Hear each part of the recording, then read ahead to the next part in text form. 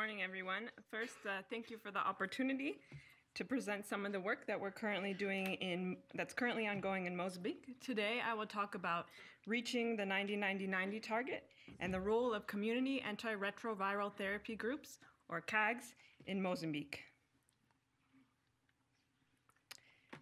So the UNAIDS 90-90-90 target, as Dodo just first already discussed, was adopted in 2014. The aim of this target is that by 2020, 90% of people living with HIV should know their status.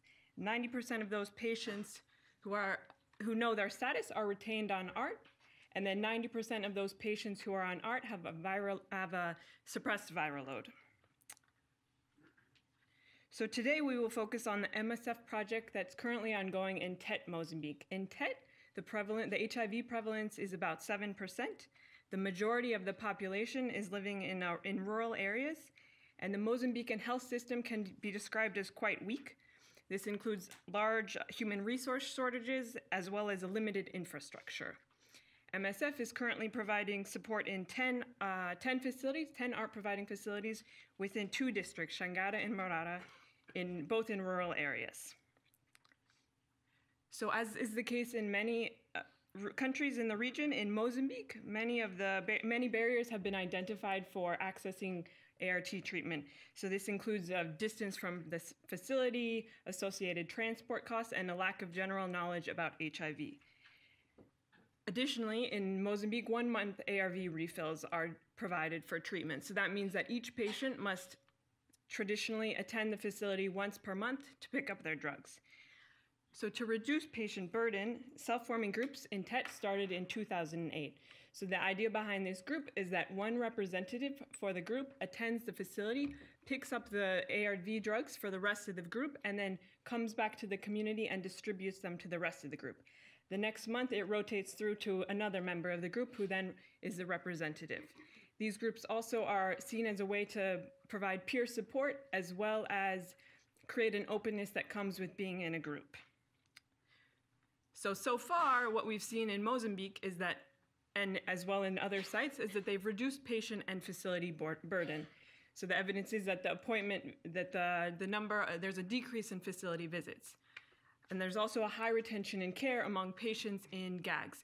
So in recent analysis done in Tete, for instance, they found at 97, almost 98% retention in care 24 months after eligibility for a CAG among CAG patients, compared to 82% among individual care patients. So CAGs have then been rolled out nationally as well as regionally in the, in the, in surrounding countries. So what we decided to do was take the recent adoption of the 90-90-90 target as a nice opportunity to explore what role the CAGs could have in, in meeting this target, framing it through then the HIV care continuum and the, the activities that are going on in the project. So first, we will take a look at community HIV testing and the associated linkage to care. We'll frame that through the idea that uh, of testing contacts of CAG members. So this is one aspect of what goes on in HIV, community HIV testing in Mozambique, and then also to look at peer support and facilitated linkage to care that goes on, two strategies that are used in community HIV testing. The second aspect that we will focus on is viral suppression.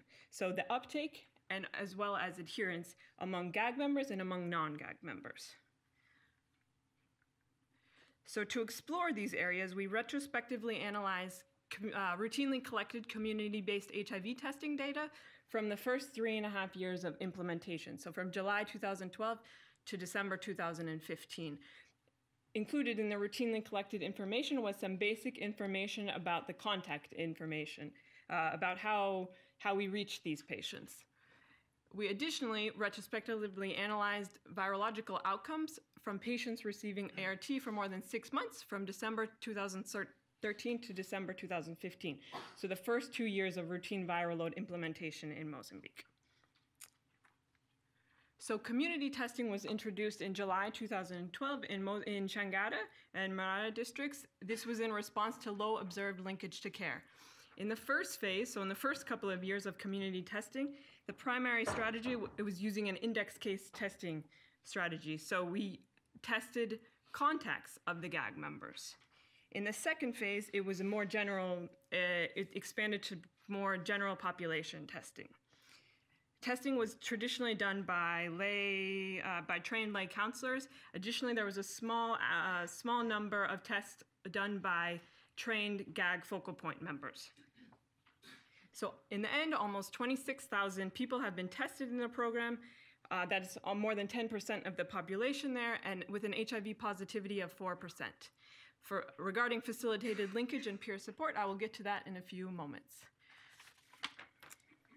So first, I, it's important to note that in the initial, although it's not shown here, in the initial implementation of community testing in the first year, we saw quite a high rate of HIV positivity. So in the first couple of quarters, 31, 13%, and then it plateaued after one year of implementation, and we see about 3 to 5% HIV positivity across the board. So, so here we can see community testing by contact method. So what's it's broken down by if it was an immediate CAG family member, so a mother, a sibling, a spouse, by other CAG contact, so if it was a friend or a neighbor of a CAG contact, and then by non-CAG contact, so if it was through community leaders and other other types of contact with the community. What we can see clearly, there's two points that jump out right away. Of course, adults have a higher HIV positivity than children um, across the board in each and within each group. Uh, additionally, we see that immediate CAG family members have a much have a significantly higher HIV positivity than other CAG contacts and non-CAG contacts. Neither one of these is is too surprising in context. What's important is that that relationship holds up for both adults and children. So we can see that perhaps that we're capturing uh, through the immediate CAG families many children that were missed in the PMTCT part of the program in the facility, but we were able to to, to test them in the community. Um, excuse me. What's also quite important to note about this slide, though, is although the HIV positivity was higher in the immediate CAG family members, the total number of positive people with, uh, that we found was much higher in the non-CAG contacts and as well as other CAG contacts because there were there were so many more of them that were able to be reached. Oh, thanks. So when we look at linkage to care by contact method, we can see actually there's a high linkage to care overall, 77%, and there's no significant differences by contact method. so people who tested positive in the community in Changara were immediately offered um, a membership into a CAG, regardless of so from the beginning of the, the this strategy, this was implemented. So everyone had this opportunity to reap the benefits of the peer support of the CAG membership. In the first phase of the community testing, so when it was done primarily through contacts of CAG members, there was more informal facilitated linkage to care. So because we tested through CAG members, there was this follow up also by the CAG members to ensure that patients were linking to care. In the second phase, it was more formalized uh, follow up of, or facilitated linkage to care. So, this means that the counselors that tested them were then following up for patients who did not immediately link to care. So, although the, the linkage is not significantly different across the different contact methods, we do we can say that in the second phase we needed many more resources health facility resources in the health system to ensure this this same linkage to care So now we move to viral load. So routine viral load testing is not available widely in Mozambique. It's just, uh, excuse me.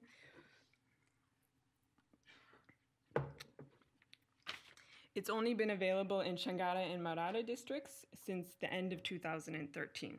So what we have seen in the first two years of implementation is that among CAG members, the coverage has been much higher than among non-CAG patients.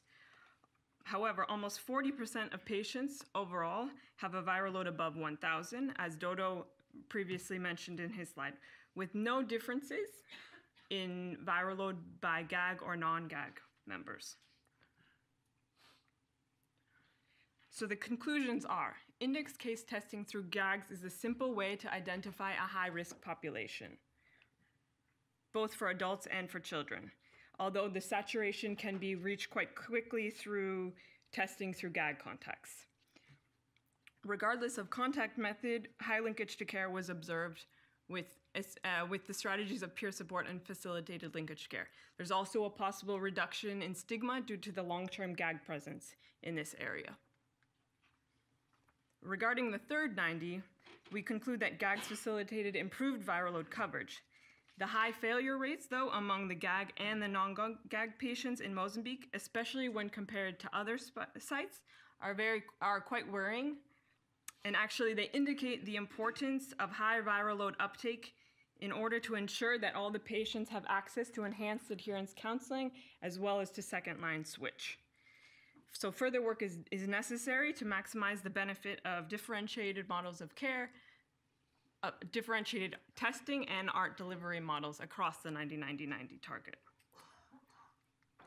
So before I finish up and take any questions, I would just like to acknowledge the patients of Changara and Marara, the Ministry of Health in Mozambique, as well as the, the wonderful team, MSF team in Mozambique and in Tete.